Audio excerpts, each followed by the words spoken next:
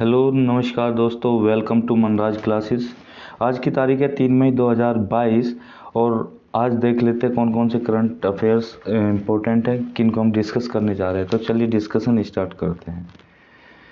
पहला article jute industry के बारे में।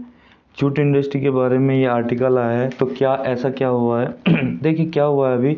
कि वेस्ट बंगाल एक क्राइसिस से गुजर रहा है, जिसका हर जाना क्या भुगतना पड़ा है वेस्ट बंगाल को। वहाँ पे जो जूट मिल्स है, वो क्लोजर के कगार पे आ गई है। बहुत सारी जूट मिल बंद होने के कगार पर आ गई है। ऐसा क्यों हुआ है? इसके क्या रीजन्स है? इसके रीजन्स में कुछ ये है कि जो रा जूट होता है, वो बहुत ही हायर प्राइसिस पे मिल रहा है, मिल मालिकों को। बहुत ही हायर प्राइसिस पे उनको जो रा जूट होता है, जिसके लिए जूट से जो डिफरेंट आर्टिकल्स बनाते हैं डिफरेंट प्रोडक्ट बनाते हैं, उन्हें बहुत बहुत ही हायर प्राइजेस पे मिल रहा है। इसका कारण क्या है कि देखो, एक तो जैसे कि होर्डिंग बहुत ज़्यादा हो जाती है। जो रॉ मटेरियल उसकी होर्डिंग हो जाएगी तो इस वजह से उसकी जो सप्लाई है बहुत कम हो जाएगी। और जो आप जानते हैं कि 2022 सॉरी 20 में जो साइक्लोन अम्फान आया था, उसकी वजह से बहुत सारा डैमेज उधर आपकी जूट क्या नाम क्रॉप को हुआ है।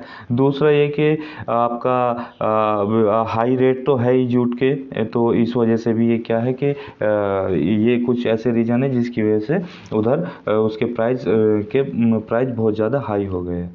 ठीक है? आगे बढ़ते हैं। अब क्या कंसर्न्स है? उसके बारे में थोड़ा सा हम जानते हैं कि जो जूट सेक्टर है जूट सेक्टर में ये कंसर्न क्रिएट हो गया कि ये डायरेक्टली और इनडायरेक्टली लगभग तीन लाख सत्तर हज़ार वर्कर्स को जॉब प्रोवाइड करता है।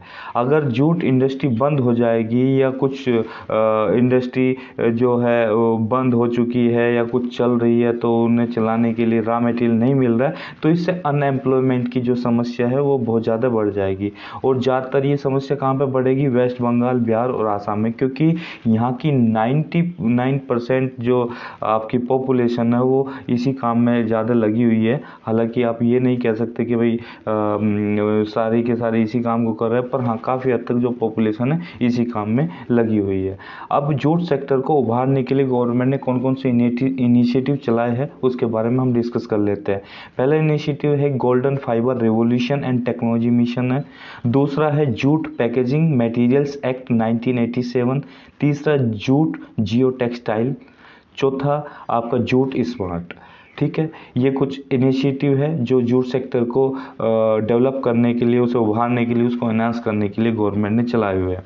थोड़ा सा जियो टेक्सटाइल वर्ड का यहाँ पर ज़िक्र हुआ है, उसके बारे में जान लेते हैं कि जियो टेक्सटाइल होता क्या है।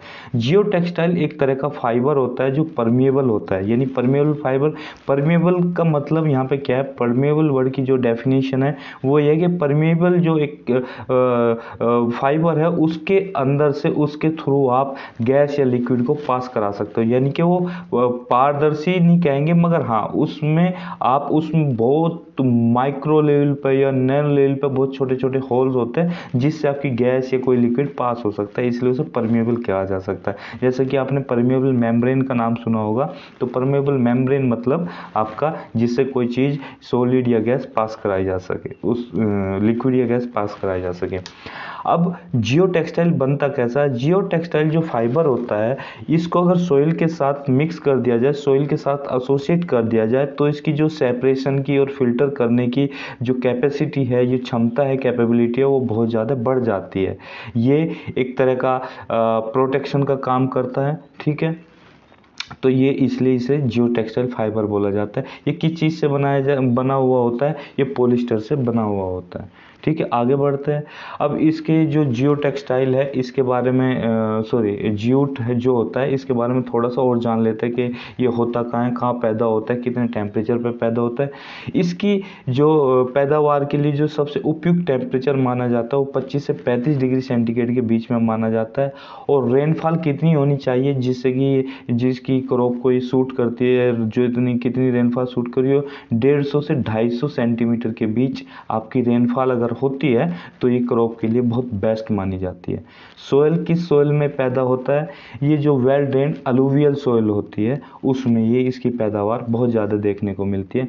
अगर इसके प्रोडक्शन की बात करें कि कौन सा लार्जेस्ट प्रोड्यूसर है, कौन सा नहीं है, हमारे जो पड़ोसी देश जैसे कि चाइना, बांग्लादेश, इसकी, इनसे हम कंपेरिजन करें तो इंडिया सबसे लार्जेस्ट प्रोड्यूसर है जूट का। सेकंड नंबर आता है बांग्लादेश का और थर्ड नंबर आता है चाइना का। तो जूट के प्रोडक्शन में मेनली जो हमारा ईस्टर्न इंडिया है, क्योंकि उसमें रिच अलुवियल सोयल जो गंगा ब्रह्मपुत्र डेल्टा बनता है, वहाँ पे रिच अलुवियल सोयल बहुत ज़्यादा देखने को मिलती है, क्योंकि वो एक ड्रेन्ड एरिया है। ठीक है ड्रेन क्योंकि गंगा ब्रह्मपुत्र नदी अपने साथ बहुत सारे ड्रेन स्लट लेके आती है सल्ट सिल्ट्स सॉरी सिल्ट्स लेके आती है तो वो जो है एक पूरा जो ड्रेन डेल्टा बनता है, वो आपका अलुवियल बहुत ज़्यादा, उसमें अलुवियल सोयल होती है। ठीक है? अब जो मेजर जूट प्रोड्यूसिंग स्टेट्स है, उनकी बात कर लेते हैं। ऐसे तो कई सारे हैं, लगभग दस से भी ज़्यादा है। तो मगर हम थोड़ा थोड़ा मोटा मोटा इनके बारे में जान लें। वेस्ट बंगाल, आपका बिहार, उड़ीसा, आसाम आंध्र प्रदेश, मेघालय, त्रिपुरा, ये कुछ स्टेट है जिनमें जूट प्रोडक्शन बहुत ज़्यादा होता है। अब एक चीज़ यहाँ पे जानने वाली बात है कि गोल्डन फाइबर जूट का ही दूसरा नाम है। जूट को ही हम गोल्डन फाइबर के नाम से जानते हैं। आपने पीछे भी देखा होगा कि जो आपका एक इनिशिएटिव चला था golden fibre revolution and technology mission अगर क्वेश्चन ये पूछ लिया जाए कि गोल्डन फाइबर किसे कहते हैं तो जूट को कहा जाता है। ठीक है? तो आगे बढ़ते हैं। इसके यूजेस की बात जान ले। इसके यूजेस को इसके यूज़ जैसे कि आपके जूट बैग्स होते हैं, जिन्हें हम गनी बैग्स भी बोलते हैं। मैट, चटाइयाँ बनाई जाती है, रस्सियाँ बनी, बनाई जाती है, यान कारपेट्स और भी कई सारे आर्टिफैक्ट्स इसके बनाए जाते हैं। ठीक है? हमारा अगला आर्टिकल नेशनल करिकुलम फ्रेमवर्क के बारे में। ये क्यों न्यूज़ में आया है? इसके बारे में पहले हम जान लेते हैं। देखिए मिनिस्ट्री ऑफ़ एजुकेशन ने एक मैंडेट डॉक्यूमेंट जारी किया है। किसके अंडर किसके लिए जिसे हमने नेशनल करिकुलम फ्रेमवर्क का नाम दिया है।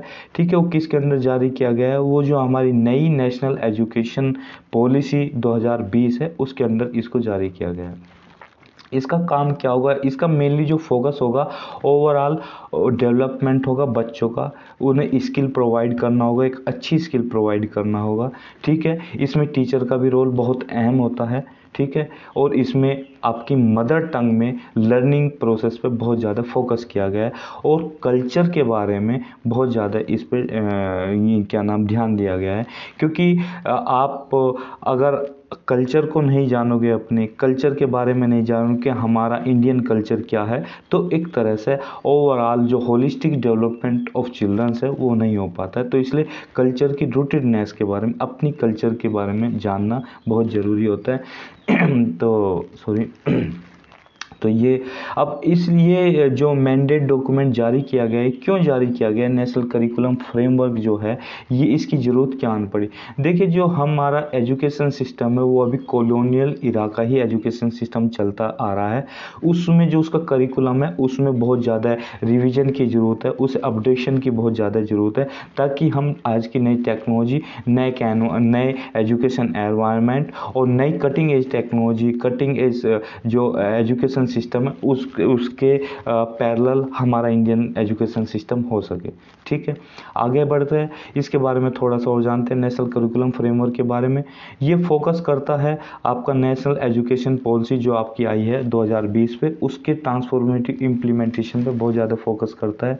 ये टीचिंग एंड लर्निंग जो आपकी है उस पर बहुत ज़्यादा ध्यान देता है कि टीचिंग और लर्निंग ये दो चीज़ें ऐसी है कि आपकी टीचिंग अगर बहुत आउटस्टैंडिंग होगी तो बच्चों में स्किल अपना आप ही इन हो जाएगी। अब अपना आप ही स्किल आ जाएगी कि अगर पढ़ाया अच्छा गया हो, समझाया अच्छा गया हो तो लर्निंग ऑब्वियसली ऑटोमेटिकली अच्छी हो जाती है। तो इस चीज़ को ये बहुत ज़्यादा स्ट्रेंथन करता है इनेबल करता है।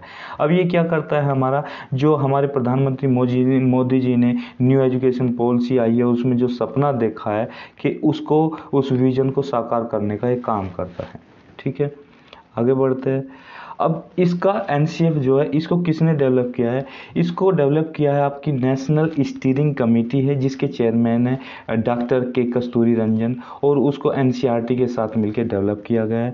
इसके अंदर क्या क्या इंक्लूड किया गया है? इसके अंदर इंक्लूड है कि national curriculum framework for school education national curriculum framework for early childhood care and education national curriculum framework for teacher education and adult education इसमें teacher education adult education early childhood care और उनकी education और school education इस national curriculum के अंदर include किए गए हैं। अगर इसकी बात करें डेडलाइन की, कि इसकी डेडलाइन कब तक है, कब तक सिलेबस को रिवाइज करना है, जो नेशनल करिकुलम फ्रेमवर्क बनाया गया है, उसको कब तक रिवाइज करना है, इसको 28 फरवरी 2023 तक इसकी डेडलाइन रखी गई है। ठीक है? अब थोड़ा सा जो इसका, जो मैंडेट है, इसके अंदर क्या क्या है, थोड़ा सा उसे भी और डिस्कस कर लेते हैं। कंसल्टेटिव प्रोसेस इसके अंदर एक ये पॉइंट है कंसल्टेटिव कंसल्टेटिव प्रोसेस में कि ओबियसली कि सारे स्टेक होल्डर्स को ध्यान में रख के इस मैंडेट को जारी किया गया सारे स्टेक होल्डर को ध्यान में रख के जो कंसल्टेशन किया जाएगा, फिर उसी के तहत आपका सिलेबस रिवाइज किया जाएगा। मल्टी डिसिप्लिनरी एजुकेशन देखिए, आपका इस जो न्यू एजुकेशन पॉलिसी आई थी, उसमें ये भी बोला गया था कि आपका, आप कोई एक टाइम पे अगर जैसे कि आप कोई अंडर ग्रेजुएट कोर्स कर रहे हो तो उस टाइम पर आप दूसरा भी कोई और कर सकते हो कि आपका जो डिसिप्लिन है वो मल्टी डिसिप्लिन बन जाए, ठीक है? मतलब आप एक साथ दूसरे कोर्सेज को भी कर सकते हो, कई कोर्सेज को ऑप्ट कर सकते हो एक टाइम पे। तो ये मल्टी डिसिप्लिनरी एजुकेशन का इसमें प्रोविज़न किया गया है। इसमें ओवरऑल ये कह सकते हैं कि एजुकेशन के फ़ील्ड में आपकी फ्लेक्सिबिलिटी को लेके आया है ये। ठीक है? एक आपका टीचिंग एंड लर्निंग का बहुत बेहतर और कंड्यूसिव एनवायरनमेंट क्रिएट करता है ये मैंडेट ठीक है? जो नेशनल करिकुलम फ्रेमवर्क है। ये कटिंग एज रिसर्च पे फोकस करता है कि जो आपकी लेटेस्ट टेक्नोलॉजी है लेटेस्ट रिसर्च है, उसको इंक्लूड करता है। और जो आपका नेशनल जो पेंडेमिक आया था, जो आपका ये आपका कोरोना आया था, उसमें जो लॉस हुए हैं, उसको आपका एड्रेस करने की कोशिश करता है। ठीक है? आगे बढ़ते हैं। आगे हमारा आर्टिकल है national semiconductor mission national semiconductor mission ये क्या है और ये क्यों न्यूज़ में आए, इसके बारे में जानते हैं। देखिए, अभी हाल ही में क्या हुआ है कि ministry of electronics and information technology ने अपना एक पहला सेमिकॉन इंडिया 2022 कॉन्फ्रेंस इनोग्रेट किया। ये किसके अंडर इनोग्रेट किया? ये इंडिया सेमीकंडक्टर मिशन के अंडर इनोग्रेट किया। कहाँ पे इनोग्रेट किया गया बेंगलुरु में इनोग्रेट किया गया जो सेमिकॉन इंडिया 2022 है, उसमें क्या है कि जो हमारे प्रधानमंत्री जी ने एक विजन देखा था कि इंडिया को इलेक्ट्रॉनिक्स मैन्युफैक्चरिंग में सेमीकंडक्टर डिज़ाइन में मैन्युफैक्चरिंग और इनोवेशन का हब बनाना है, एक इंडिया को एक लीडर बनाना है तो उस स्टेप को ये आगे लेके जाने का काम करता है, जो आपका सेमीकंडक्टर सेमीकॉन इंडिया कॉन्फ्रेंस 2022 है। उसमें इस विजन को एक फिलिप मिला है, एक उड़ान मिली है। इस बार की थीम क्या थी? इस बार की थीम यह कि कैटलाइजिंग इंडिया सेमीकंडक्टर इकोसिस्टम इसकी थीम थी, इस कॉन्फ्रेंस की। अब थोड़ा सा हम सेमीकंडक्टर की डेफिनेशन और सेमीकंडक्टर कहते किसे, उसके बारे में जान ले जान सकते हैं। क्योंकि यूपीएससी और आपके बहुत सारे एग्ज़ाम ऐसे हैं कि जिनमें सेमीकंडक्टर की डेफिनेशन डायरेक्टली इनडायरेक्टली पूछ ली जाती है तो उसका जानना बहुत ज़रूरी है। देखो, तीन चीज़ होती है।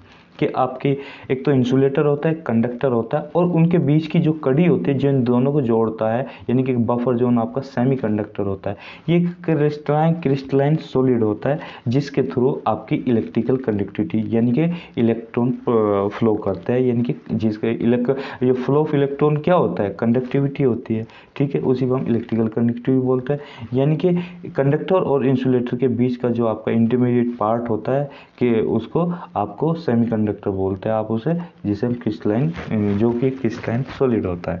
इसका यूज़ नो डाउट के इलेक्ट्रॉनिक्स डिवाइस में होगा पावर डिवाइसेस में होगा। इलेक्ट्रॉनिक डिवाइसेस में कैसे? जैसे कि डायोड होते हैं आपके ट्रांजिस्टर होते हैं और आईसी जिसे हम इंटीग्रेटेड सर्किट भी बोलते हैं।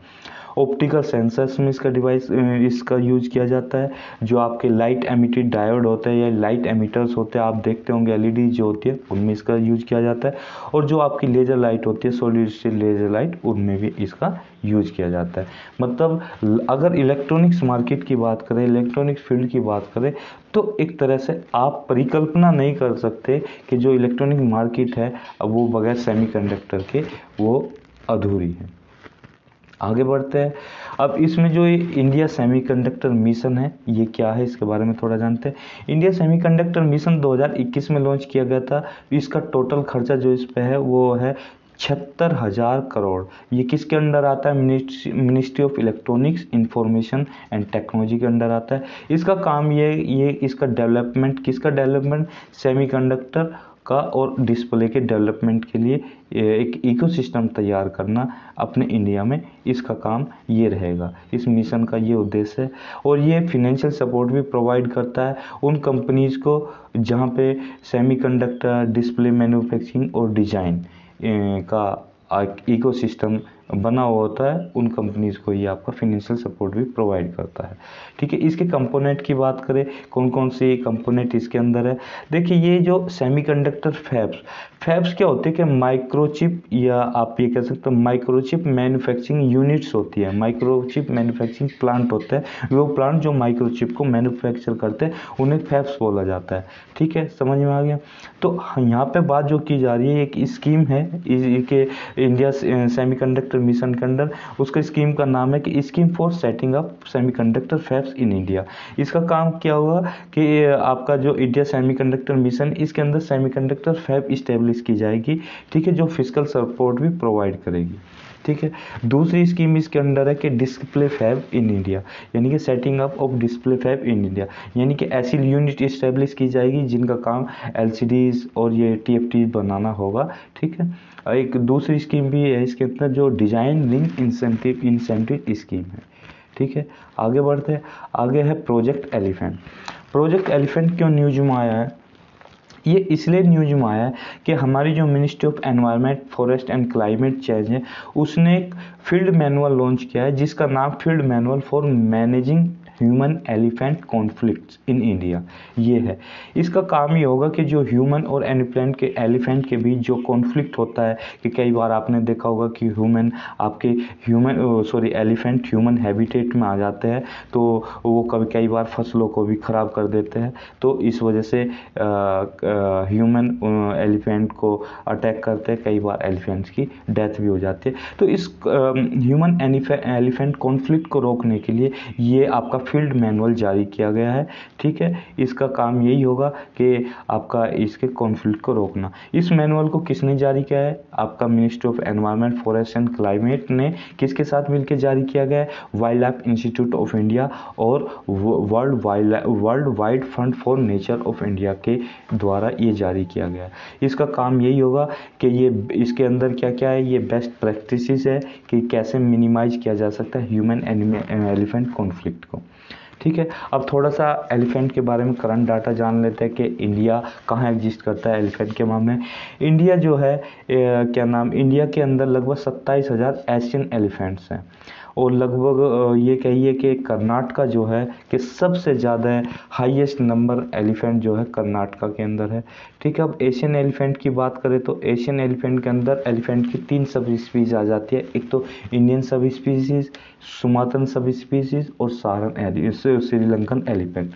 अब इसके बारे में और आगे बढ़ते हैं। देखिए, एक क्वेश्चन पूछा गया था यूपीएससी में, जो कि अभी हम डिस्कस कर इसमें पूछा गया था कि भाई एलिफेंट के जो हर्ड्स होते हैं, जो उनकी भीड़ होती है, जो उसका झुंड होता है, उसे कौन लीड करता है? तो मैट्रियार्क लीड करता है। मैट्रियार्क का मतलब है यहाँ पर जो लार्जेस्ट और ओल्डेस्ट फीमेल होती है, वो अपने बच्चों को लेकर हर्ड में चलती है, सबसे आगे वो ही रहती है, उनको लीड करती है। उसके जेस्टेशन जेस्टेशनल पीरियड के बारे में पूछा गया था कि इसका जेस्टेशनल पीरियड कितने मंथ का होता है, ठीक है? ये सबसे लॉन्गेस्ट अगर मैमल्स की बात करें, जितनी भी मैमल्स है, उसमें सबसे ज़्यादा जो जेस्टेशन पीरियड सबसे लॉन्गेस्ट होता है, वो आपका एलिफेंट का ही होता है। कितना होता है? छः सौ अस्सी डेज़ का, जो कि बाईस मंथ के बराबर होता है। फीमेल की अगर बात करें कि इसके जो काफ होता है, जिनको हम जो एलिफेंट के बच्चे होते हैं, उन्हें काफ बोलते हैं, ये कब पैदा कर सकती है और कब कब ये पैदा करते हैं, कितने टाइम में? जैसे कि आप ह्यूमन जो फीमेल की बात करते हैं, जो ह्यूमन होता है ह्यूमन में जो फीमेल होती है, वो हर साल नौ महीने में बच्चा पैदा कर सकती है। मगर एलिफेंट में ऐसा नहीं है। एलिफेंट जो फीमेल होती है वो चौदह से पैंतालीस ईयर के बीच में हर चार साल बाद अपना ये बच्चे पैदा कर सकती है। अगर इनके प्रोटेक्शन की बात करें, इसमें कैसे प्रोटेक्शन प्रोवाइड की गई है? आयुषन की रेड लिस्ट में इन्हें एंडेजर्ड कैटेगरी में डाला गया है। वाइल्ड लाइफ प्रोटेक्शन एक्ट के अंदर इन्हें शेड्यूल वन में वन में डाला गया है और साइट्स के अंदर ये अपेंडिक्स वन में आते हैं। प्रोजेक्ट एलिफेंट के अंदर ही अफ्रीकन एलिफेंट्स की बात करें, इनकी दो सब स्पीसीज सब स्पीसीज होती है। एक तो सवाना सब स्पीसीज होती है और दूसरी फोरेंट फॉरेस्ट एलिफेंट सब स्पीसीज होती है। सवाना सब स्पीसीज को हम बुश एलिफेंट भी बोलते हैं। इनकी ग्लोबल पॉपुलेशन की अगर बात करें, लगभग चार लाख ग्लोबल पॉपुलेशन है। इनके अगर प्रोटेक्शन की बात करें तो आयुषन की रेड लिस्ट में जो सवाना एलिफेंट है, वो एंडेंजर कैटेगरी में आता है और जो आपके फॉरेस्ट एलिफेंट है, वो क्रिटिकल एंडेंजर कैटेगरी में आता है। साइट साइट्स की बात करें कि इसे अपेंडिक्स टू में डाला गया है। आगे बढ़ते कि इसके लिए कंजर्वेशन के लिए कौन कौन से इनिशिएटिव गवर्नमेंट ऑफ़ इंडिया ने चलाए गए देखिए कई बार एलिफेंट अपनी सेंचुरी से अपने आ, क्या नाम आ, ये आ, अपने वाइल्ड लाइफ सेंचुरी से बाहर निकल आते हैं तो उसको बैरिकेड करने का प्रावधान चला गया है। एक गज गज यात्रा भी चलाई गई है। नेशन वाइड कैंपेन है नेशन वाइड कैंपेन है, गज यात्रा। इस, ये कैंपेन है कि आपकी अवेयरनेस फैलाती है कि आपको हाथियों को या एलिफेंट्स को कैसे प्रोटेक्ट किया जाए। एक और है इनिशिएटिव जिसका नाम है monitoring illegal killing of elephants जिसका माइक जिसे हम बोलते हैं, ये 2003 में लॉन्च किया गया था और प्रोजेक्ट एलिफेंट तो हम पढ़ ही रहे जिसे उन्नीस सौ बानवे में लॉन्च किया गया था। आगे बढ़ते हैं। आगे export credit guarantee corporation of India limited के बारे में, इसे हम शॉर्ट फॉर्म में ईसीजीसी बोल सकते हैं। ईसीजीसी क्या है? देखिए government owned credit export credit provider है। ये गवर्नमेंट के द्वारा एक कंपनी जो ये गवर्नमेंट की कंपनी है, जिसका काम कि जितनी भी हमारे इंडियन एक्सपोर्टर है, ठीक है, उनको क्रेडिट का इंश्योरेंस प्रोवाइड करना है। कि ये क्या है, ये कंपनी आपकी गवर्नमेंट बोलती है इस कंपनी को, बैंकों को बोलती है कि आप पैसा दीजिए एक्सपोर्टर्स को। अगर आपका अगर पैसा डूबता है तो उसका, उसको हम भरपाई करेंगे। ठीक है? ये ministry of commerce and industry के अंदर आती है, जिसका आपका हेड ऑफ़िस कहाँ पे है? मुंबई में।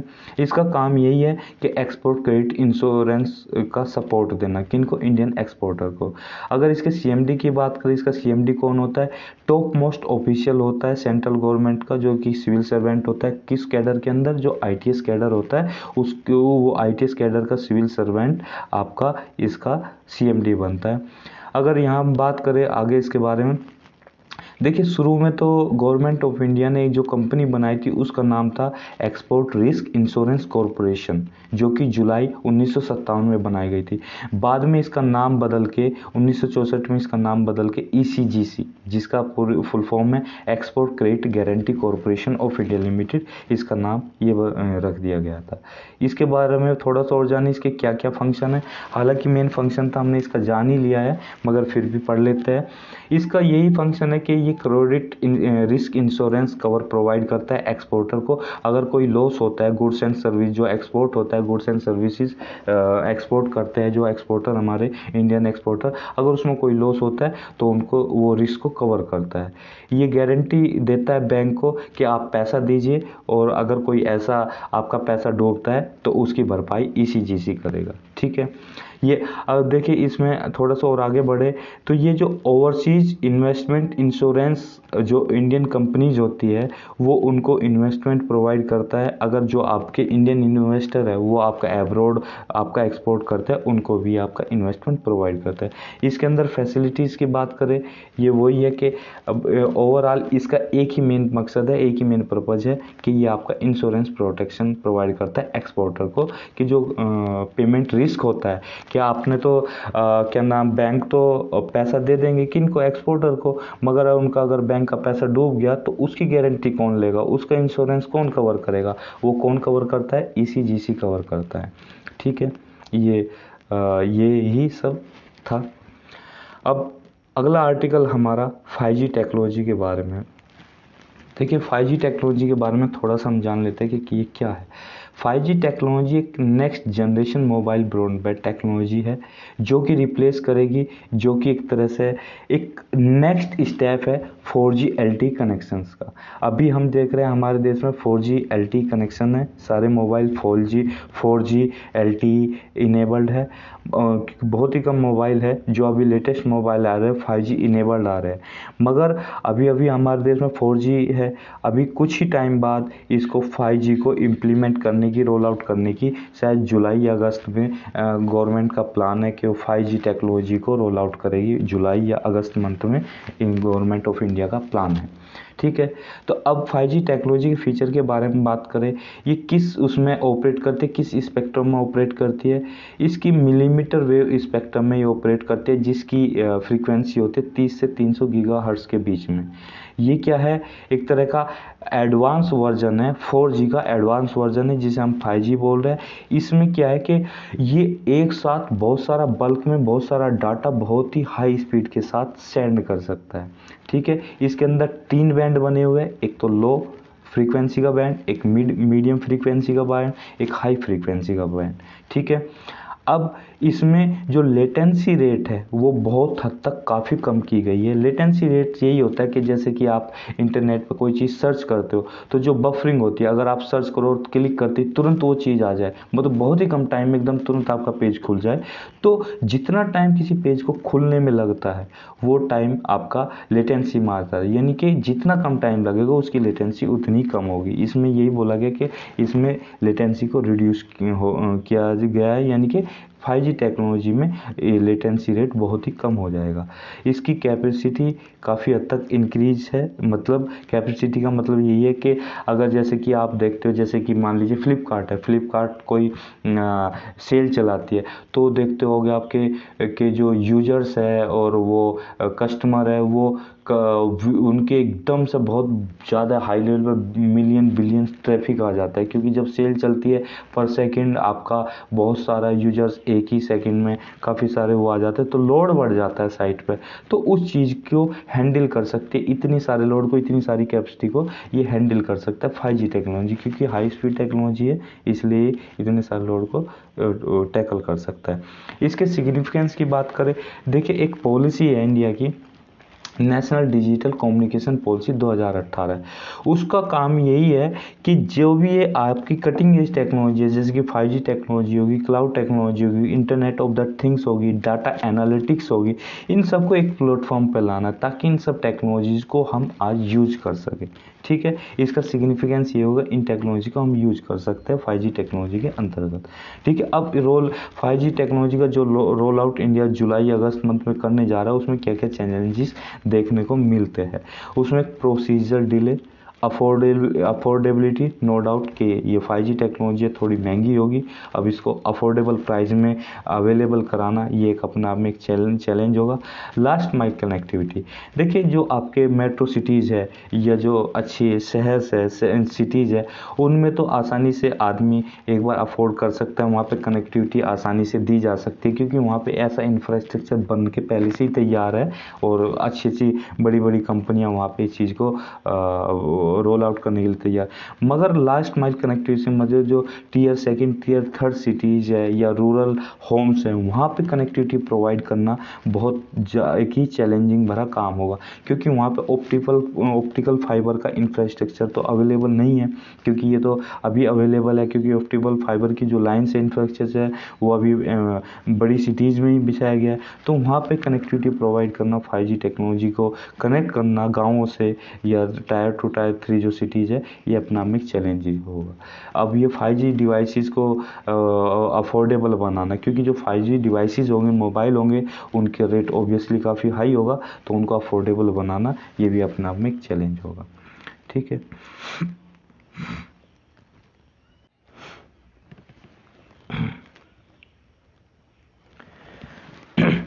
सॉरी अगला आर्टिकल हमारा नासा का एल सी आर डी के बारे में है। एलसीआरडी क्या है? ये एक तरह का कम्युनिकेशन डेमोस्ट्रेशन है कि लेज़र लाइट के थ्रू आपका कम्युनिकेशन किया जा रहा है, उसका डेमोस्ट्रेशन है, ये LCRD नासा ने डेमोस्ट्रेट किया है ठीक है? एलसीआरडी का मतलब है लेज़र कम्युनिकेशन रिले डेमोस्ट्रेशन अभी नासा ने डेमोस्ट्रेट किया है अपने एक आ, क्या नाम डेमोस्ट्रेशन को जिसका नाम है लेज़र कम्युनिकेशन रिले डेमोस्ट्रेशन देखिए अभी हम क्या करते हैं? जो हमारा कम्युनिकेशन होता है आ, क्या नाम वेव्स के थ्रू होता है।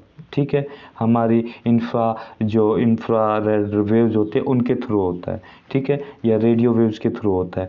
मगर अभी हम जो नेक्स्ट स्टेप में जा रहे हैं, जो नासा ने अभी जो नई टेक्नोलॉजी के थ्रू यानी कि लेसर टेक्नोलॉजी के थ्रू लेसर कम्युनिकेशन के थ्रू ये कम्युनिकेट करना चाहता है, ठीक है? इसको लॉन्च किया गया है दिसंबर 2021 में।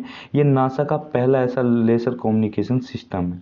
अब इसका जो एलआरसीडी है, ये क्या करेगा?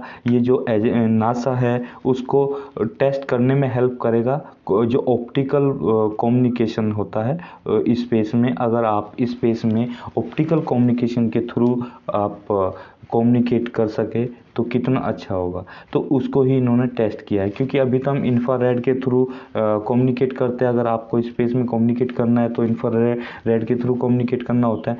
मगर आप ऑप्टिकल कम्युनिकेशन जो ऑप्टिकल फाइबर है, उसके, जो ऑप्टिकल फाइबर की जो टेक्नोलॉजी है, उसको यूज़ करके उसका यूज़ करके अगर कम्युनिकेट कर सको तो कितना अच्छा होगा। ठीक है? आगे बढ़ते हैं।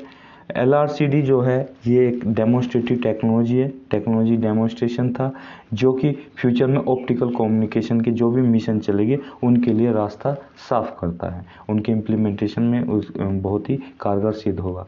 अब इसको कहाँ पे वो किया जाएगा इंस्टॉल किया जाएगा?